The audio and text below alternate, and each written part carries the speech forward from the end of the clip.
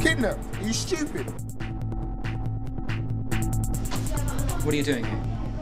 No, I can't help you, okay? I'll find them myself, man.